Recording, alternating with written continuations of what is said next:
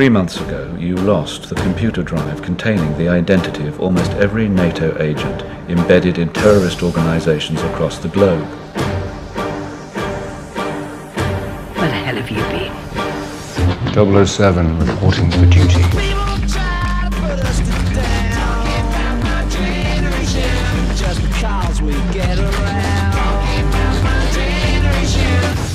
MI6. Well, everybody needs a hobby. So what's yours? Resurrection.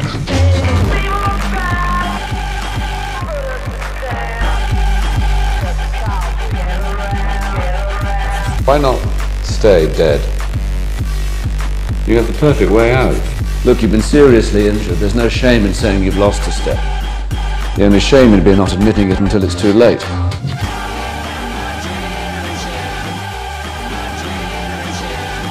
是的。